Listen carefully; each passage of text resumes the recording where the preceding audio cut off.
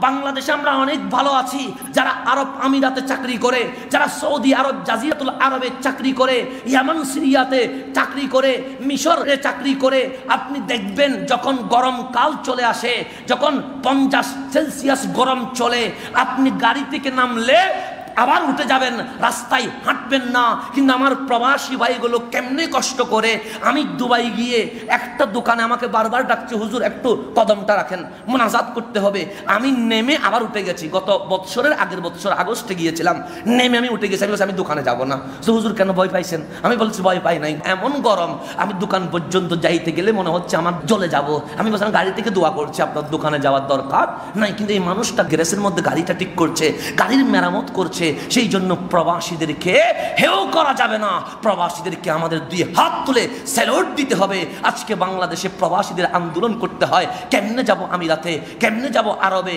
কেমনে যাব ইয়ামান সিরিয়াতে? বড় দুঃখজনক বড় দুঃখজনক। আমরা মসজিদে গৌসল আজম দেখে সরকারের প্রতি অনুরোধ করব, প্রবাসীদেরকে কষ্ট দিয়েন না। ওরা বিদেশেও কষ্ট করে, বাংলাদেশেও যদি এসে কষ্ট পায়, তাহলে আমার বাংলাদেশ, সোনার বাংলাদেশ প্রবাসীদেরকে কি অধিকার দিয়েছে? সেই কারণে আমরা দাবি জানায়, প্রবাসীদের জন্য বিদেশে যাওয়া আসা সহজ করে দেওয়া হোক।